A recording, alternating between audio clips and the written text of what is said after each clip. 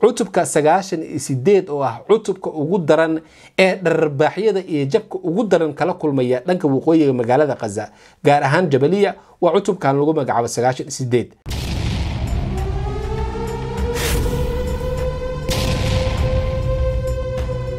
Asalaamu calaykum. Maanta waa maalintii laba boqol iyo laba labaatanaad ciidamada yuhuudda ay weli ay xasuuq badan ay ka wadaan waqooyiga iyo koonfurta magaalada khaza waxaynu la soconnaa ciidamada israa'iil inay dib ugu soo laabteen waqooyiga magaalada khaza gaar ahaan jabaliya laakiin halkaasi waxa ay kala kulmayaan iska caabinta falastiiniyiinta dharbaaxyo dib u soo xusuusinaysa. Ciidamada yuhuudda jabkii hore ee ka gaaray muddo yacni todoba bilood ka hor waqooyiga magaalada khaza gaar ahaan jabaliya waxaynu la soconnaa bilowgii dagaalka marka uu bilowday ciidamada yuhuudda waxay ka soo galeen ama ay yoolkoodu ahaa waqooyiga magaalada khaza iyaga oo markaasi bartilmaameedkooda ugu weynaa uu ahaa jabaliya. Dhanka waqooyiga ayay ka soo galeen dhanka galbeedka ayay ka soo galeen. Ciidankoodii efentariga awood ayay u yeelan waayeen inay lugaha soo dhigaan jabaliya laakiin taa bedelkeeda duqeymo ayay halkaas ka bilaabeen. Hadda mid ka duwan istraatiijiye ka duwan tii hore ayay bilaabeen oo ah inay bariga iyo dhanka koonfur bari ay magaalada jabaliya ay weerar ay kaga soo qaadaan. Laakiin waxaa dib loo soo xusuusinayaa dharbaaxyadii yacni muddo lix bilood todoba bilood ka hor kaga dhacday magaalada jabaliya. Midkan waa mid ka mida muuqaaladii ay soo bandhigeen. Kan waa taangi ka mid a taangiyada ciidamada yuhuudda aad ujeedaan soo ma jeedaan? Waa lala helay. Waa taangi ka mid a taangiyada ciidamada yuhuudda waqooyiga magaalada khaza ka dhex taagnaa. Waa uu ku daayay taangigaas gurigan aad u jeedaan halkaas waxaa ku jira mid ka mid a ciidamada yuhuudda oo halkaasi doonaya in markaasi baaritaan uu ka sameeyo ama ay markaasi deegaan ka dhigtaan. Laakiin qoriga sniberska ayaa lala helayaa. Qoriga sniberska ayaa lala helayaa bal bal fiiri waxa ku dhici doona. Muuqaalka insha allah linkigiisa qeybta hoose ee youtube-ka ayaan idiin soo dhigi doonaa marka waxaa ku dhacay nimankii jahwareer aysan horey u arag. Sirdoonkoodii iyo ciidankoodii iyo meel walba ayay marka nimankii laga helay. Askarigaas waa loo qubeeyey. Marka ciidamada yuhuudda ee hadda guud ahaan waqooyiga magaalada khaza ka dagaalamaya waa saddex cutub. Cutubka boqol lixdan iyo laba oo isaga ku sugan dhanka rafax cutubka sagaashan iyo sideed oo ah cutubka ugu daran ee dhararbaaxyada iyo jabka ugu daran kala kulmaya dhanka waqooyiga magaalada khaza gaar ahaan jabaliya waa cutubkan lagu magacaabo sagaashan iyo sideed. Sidaasoo kale waxaa jira cutubka sagaashan iyo sagaal oo isaga ku sugan islamarkaana ilaalo ka ah waadiga kala qaybiya waqooyiga magaalada khaza oo iyaga ay u yaqaanaan netsarim corridor. Halkaas ayay cutubka sagaashan iyo sagaal ay ku sugan yihiin. Marka israa'iil ciidankeedii fashilka ugu weyn ee haya oo xitaa yacni warbaahintii reer galbeedka iyo warbaahinta kale caalamka ay kaga fashilmeen waxaa ka mid ah xagga aadaabta dagaalka. Aadaabul xarb yani ethnics of warka ayay ka dhinteen ciidamada yuhuudda. Ciddii ay arkaan ayay dilayaan. Ciddii dhaqaaqda ayay dilayaan. Ha ahaado u n ha ahaado dhakhaatiir aan xuduud lahayn ha ahaado qof dagaalamaya carruur iyo haween ayay xasuuqayaan. Halka nimankan iska caabinta falastiiniyiinta ay ku guulaysteen islamarkaana ay muujiyeen yacni tirarka islaamka ay muujiyeen oo ay ka mid tahay in cid aanan dagaal kula jirin inay markaasi ay dhaawacaan ama ay dilaan. Muuqaalka ay soo bandhigayaan waxa weeye taangiyada ciidamada yuhuudda oo ay burburinayaan ciidamada yuhuudda oo gudaha magaalada qaso ku sugan oo ay tooganayaan yoolkoodu meel walba ay markaas madaafiic ku tuurayaan xitaa ha ka qaldanto laakiin yoolkoodu wuxuu yahay in xarumaha ciidamada yuhuudda ay duqeeyaan. Marka waxaa yani labada dhinac ay ku kala tusaysaa in yani aadaabta yani dagaalka lagaga guulaysta xitaa iskabadaa xagga istaraatiijiyadda. Aadaabtii dagaalka ayaa la tusayaa cashar ayaa ilaahay xaggan ku barayaan laakiin waa cid madax adag. Quluubuhum waxa weeye quluub yani aada u adag haddii aad u digto iyo haddii aadan u digin qur'aanka ayaa horey ugu hadlay dadkan. Waa dad qalbiyadooda ay qaswo ka muuqato. Yacnii qalbigooda uu qufulan yahay. Ballan aan lahayn. Meel walba. Marka maanta oo keliya ciidamadooda waxay qirteen in yacni isbuucan oo keliya kow iyo labaatan ciidamadooda ka mid ah gudaha magaalada khazo looga dilay. Hadda kow iyo labaatan lambar yar ma ahan. Laakiin waxay ku tusinaysaa xaqiiqdii in ay wax qarinayaan in ay wax qarinayaan jabkaas jab ka weyn inuu soo gaaray maadaama ilaa iyo sodomeeyo taangi ah halkaasi gudaha waqooyiga magaalada kaza oo keliya looga gubay. Halkii taangiba ay saarnaan karaan ilaa iyo afar ka mid a ciidamada yuhuudda. Marka nimanku wax bay qarinayaan. Haddii ay yidhaahdeen isbuucyadiina soo dhaafay sagaashan iyo shan ka mid a ciidankeenii ayaa la dhaawacay. Tanna waxay ku tusaysaa warbixinada ay soo gudbinayaan inaysan xaqiiqda ay ka sheegaynin oo jab aada u xoogan uu soo gaarayo maalinba maalinta ka dambeysa daqiiqadba daqiiqada ka dambeysa jab aada u xoogan ayaa soo gaaraya.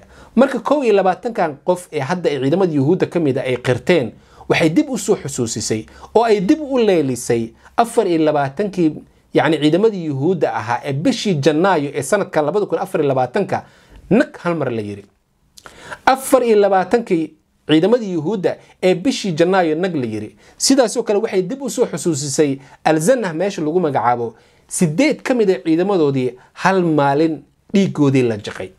Sideed ka mid a hal maalin meel lagu helay oo muuqaalkii ay markaasi iskacaabinta falastiiniyiinta ay duubayeen. Sideeddaas ay duubayeen. Walow ay dhici karto in intaas ay ka tiri badnaayeen marka dib ayaa wax loo soo xusuusinayaa. Buugaagtii dagaalka ay hilmaameen ayaa casharadii ay hilmaameen ayaa dib loo xusuusinaya marka israa'iil bilowgii dagaalka ee toddobaiyo oktoobar ayay isku dayeen magaaladan jabaliya la yidhaahdo inay soo galaan dhanka waqooyiga ayay isaga dayeen inay ka soo galaan dhanka galbeedka ay isku dayeen laakiin intaasoo dhan way ku fashilmeen. Ciidamadoodii waa ay ku fashilmeen efentriga inay lugta ay soo geliyaan. Taa bedelkeedana duqeyn ayay bilaabeen. Hadda marka waxay wadaan inay dhanka bari ka soo galaan ama galbeedka bari ay ka soo galaan ciidamadooda efentriga oo weliba waxay bilaabeen yacni in ay burburiyaan iskuuladii iyo meelihii kale markaasi iyagii kolkii hore ka nabadgelay laakiin iska caabinta falastiiniyiinta cashar aysan mar walba ay hilmaamayn ayay u dhigayaan ciidamada yuhuudda waxay qarteen inay isaga soo baxeen meesha lagu magacaabo zaytuun maanta oo halkaas ay ku daaleen waqooyiga magaalada kaza ka mid ahayd maadaama halkan jabaliya ay tabar u waayeen awood u waayeen halka zaytuun ayay ciidamadii ka soo saareen halkan ayaan isugu tegaynaa ayay taagan yihiin maadaama halkan culays aada u xoogan ee iska caabinta falastiiniyiinta ay ka saareen ciidamada yuhuudda. Marka ciidamadii yuhuudda waad la socotay maalintii shalay xataa waxay lahaayeen war dagaalkan sabab aan ugu jirno ma naqaano waynu ku wareernay waynu ku wareernay oo maalin walba meel ayaa noola diraa jaxiimo ayaa noola diraa jahanamo ayaa noola diraa. Marka nimankii meel walba waa ay ka cabaadeen rucbi ayaa ilaahay u keenay. Marka iyagii iyo maraykankana waxa ay jilayaan riwaayad riwaayad hore loogu yaqiinay maraykanka israa'iil. Waxaynu la soconnaa maalin dhexda markii xamaas ay tiri wayna ogolaanay heshiiskii. Israa'iil heshiiskii waxay tiri qodobo ka mid ah iskuma aanan ogeyn way ka baxday.